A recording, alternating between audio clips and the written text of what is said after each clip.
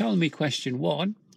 Tell me how you would check the brakes are working before starting a journey.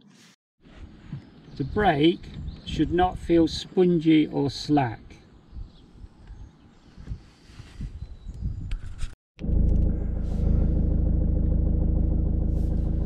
The brakes should be tested as you pull off. The car should not pull to one side.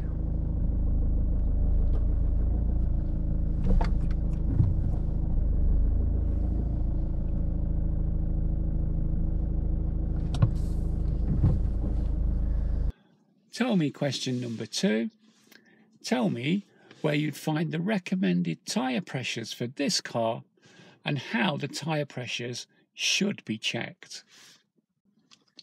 So you'll find the tyre pressures in the manufacturer's guidebook, comes with the car. Remember to use a reliable pressure gauge um, and test the tyres when they're cold, not when you've been on a long journey. And oh, remember to fit the valve caps. Tell me question number three. Tell me how you would make sure that your head restraint is correctly adjusted um, so that you have the best protection in the event of a crash. So the head restraint, this is the head restraint here at the back of your seat. And uh, it needs to be adjusted so that this bit here, this is what we call the sticky out bit, and um, that wants to be level with the top of your ears and your eyes. So you like that as you're driving along, okay? And it's just in case there's a crash, it just supports your head. Tell me question number four. Tell me how you check the tyres have sufficient tread depth and that their general condition is safe to use on the road. So, to check their tread depth on your car all you need to do is get a coin and push it in the tread there and it hopefully it will go in so far so that really reach the kind of where it says pound and you know then that you've got more than 1.6 mil across three quarters of the tyre also you're looking for any bumps or scrapes or bubbles on the wall of the tyre uh, to make sure that that's safe as well. Tell me question number five. Tell me how you would check the headlights and tail lights are working. You don't need to exit the vehicle.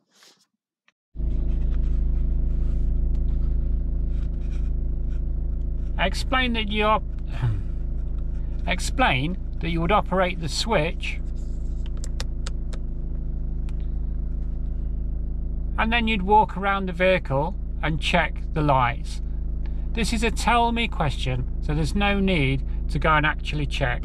But if you look here on the dash as well, you'll see the green lights have come on, which are telling us that the side lights are on and the dipped headlights.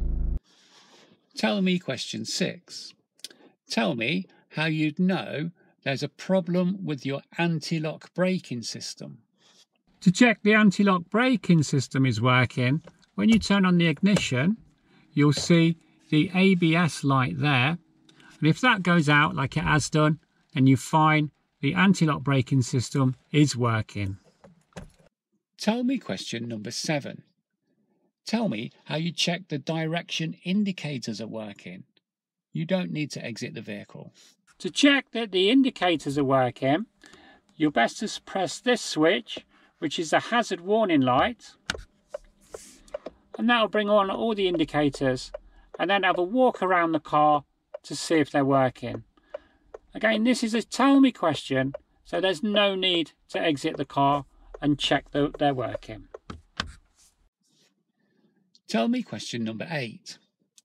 Tell me how you check the brake lights are working on this car. So you would explain that you'd operate the brake pedal, so you press that down, and then you'd look in reflections in cars or, or windows, or you'd get someone to help you. Tell me question number nine.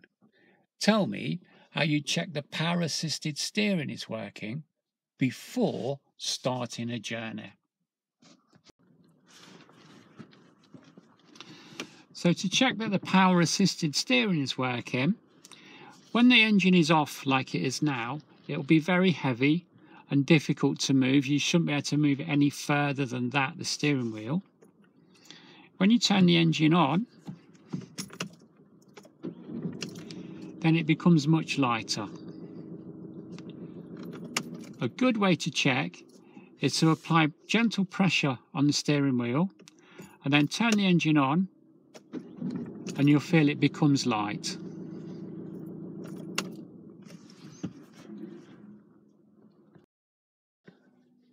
Tell me question number 10.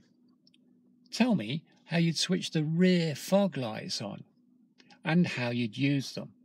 No need to exit the vehicle. On this car, to check that the rear fog lights are working, first you would turn headlights on to the dipped headlight mark. And you can see on there we have two green lights which are telling us that we have dipped headlights. And then with this wheel on the inside here you would turn that and now we've got three lights. The third light is telling us that the uh, front fog light is working and if we do that again we now have four lights the orange light here is telling us that the rear fog light is working now when you would use these is when you have your your vision is restricted to less than 100 meters and as a guide, that's the length of a running track. So less than 100 metres. Tell me question number 11. Tell me how you'd switch the headlights from dipped to main beam. And tell me how you'd know the main beam was on. Tell me question number 12. Open the bonnet. Tell me how you'd check the engine has sufficient oil. To check you have sufficient engine oil, you'll find the dipstick, which is this one here, and you can pull that out. I'm not going to do it now because I've been driving the car. Uh, you can pull that out, wipe it, and then put it back in again, pull it out again. And when, if the, if the oil level is between the two marks, then you know that you've got sufficient engine oil. Tell me question 13. Open the bonnet. Tell me how you check the engine as sufficient engine coolant.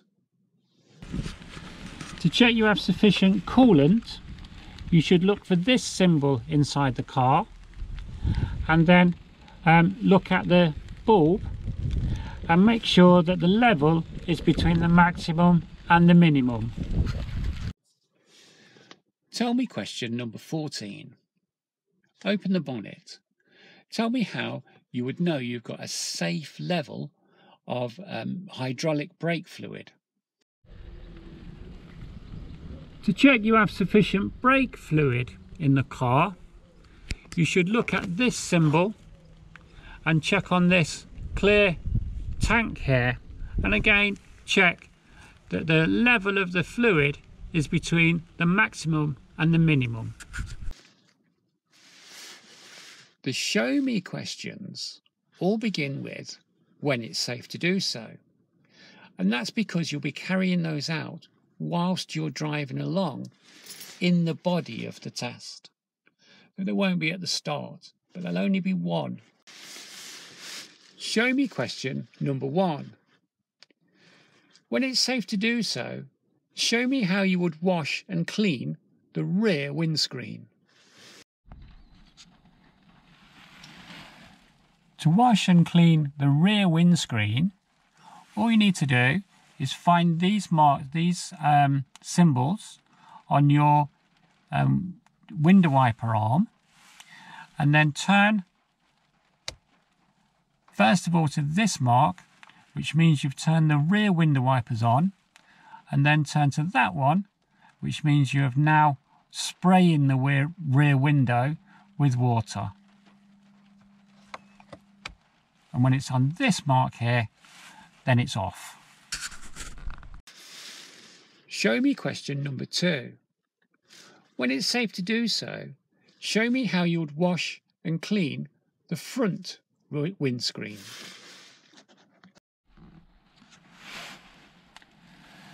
To wash and clean the front windscreen, all you do is find your window wiper arm and pull that towards the steering wheel. That will spray the window and let it go. That will spray the window and operate the window wipers and that will clear and clean the front windscreen. Show me question. Show me question number three. When it's safe to do so, show me how you would turn on your dipped headlights. To turn on your dipped headlights, you will need to find your headlight switch, which on this car is on the indicator arm. And you can see here we have a few settings. The first setting is a zero, which means the headlights are off. The second section, the second setting, should I say, is an auto, which means that when the uh, when it becomes dark outside, the, the lights will automatically turn themselves on. The third setting brings on the side lights, and the final setting, as you can see here, brings on either the main beam or the dipped headlights. And you will know the dipped headlights are on because you will see a green symbol on the dash which is telling you now that the dipped headlights are on. Show me question number four. When it's safe to do so, show me how you would set the rear demister.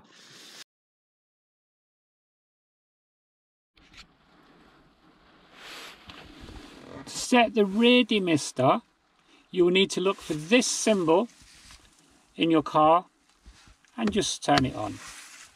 And that's all you need to do. Eventually, the rear window will clear. Show me question number five. When it's safe to do so, show me how you would operate the horn.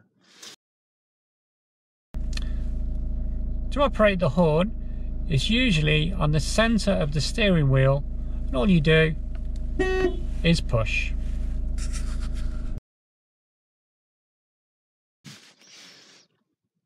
Show me question number six. When it's safe to do so, show me how you would demist the front windscreen. To demist the front windscreen, you just need to find this symbol in the car and press the button and then it will demist the front windscreen in a few seconds. Show me question number seven. When it's safe to do so, show me how you would open and close the side window. To open and close the side window, you'll see in the door panel there are four switches.